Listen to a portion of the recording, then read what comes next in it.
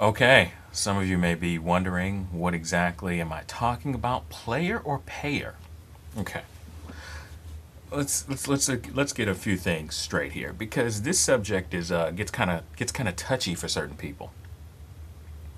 Um, because there are certain schools out there and certain people out there that tell you don't don't spend your money on these hoes, don't spend your money on these bitches and blah blah blah and blah blah blah. You know, you ain't spending money on no this and that. Okay, let's look at this realistically. Now, um, if you're going out on a date, um, you know, and this gets into a whole another video altogether.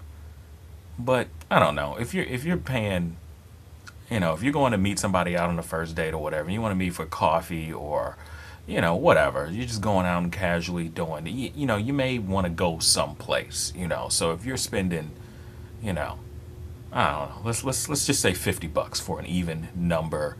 You know, some of you women out there, oh, 50 bucks, that's it. That's all you spending on me. Yeah, for a fucking first date, I'd do shit to meet you somewhere. But fuck are you to be asking me for some fucking money. But that's that's a whole separate thing. Now, but my point is, you don't have to be a cheap ass. Now, if you're a millionaire and if you, you know, and if you really want to take somebody out to a nice dinner, then fuck it, go ahead and do it.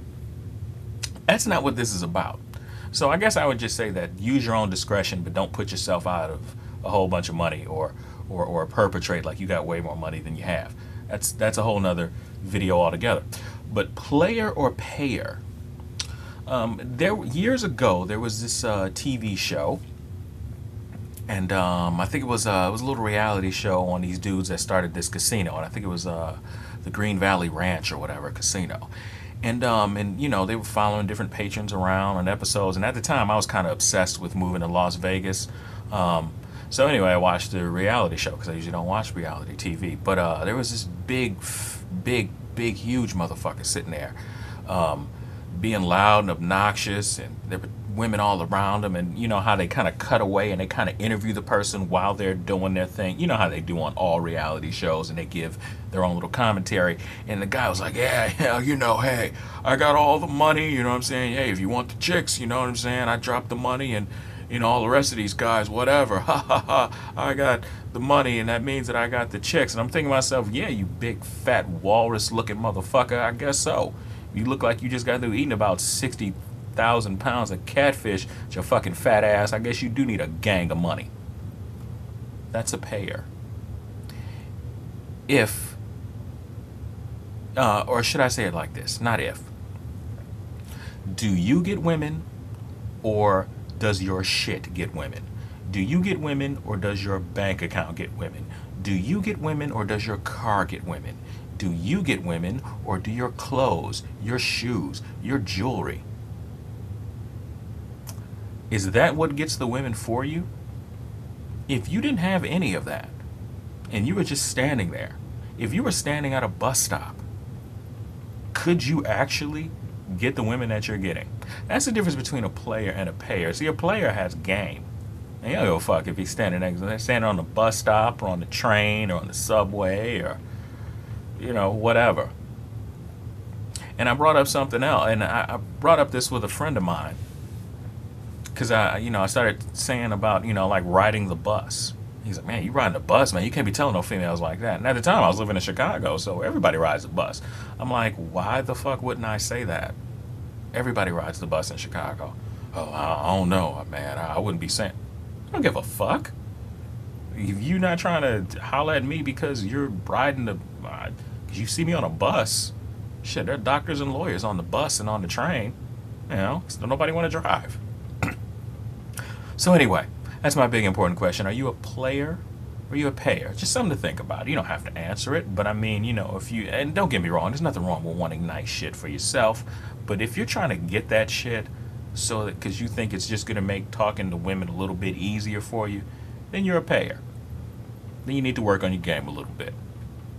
You know, if you, if you got to roll outside with a bunch of jewelry and diamonds and, and rims and you listen to these fucking idiot rappers out here that's talking about all that shit, you know, and you're buying into it, you know, then then you're a then you're a payer and not a player.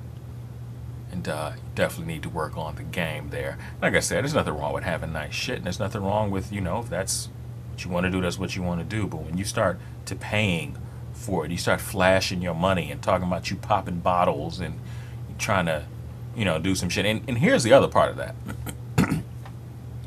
um, and I also hear like dudes that are got a decent job.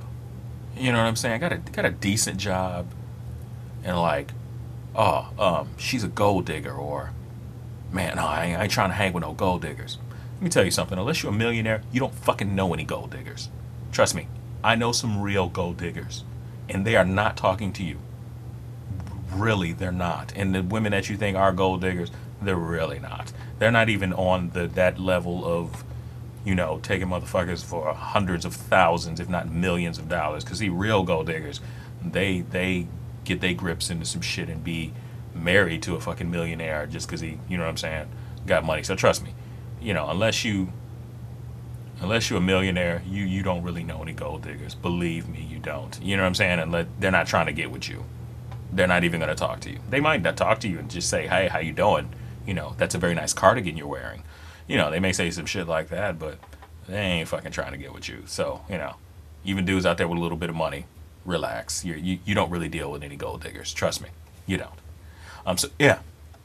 Remember, be a player, not a payer and that's one to grow on.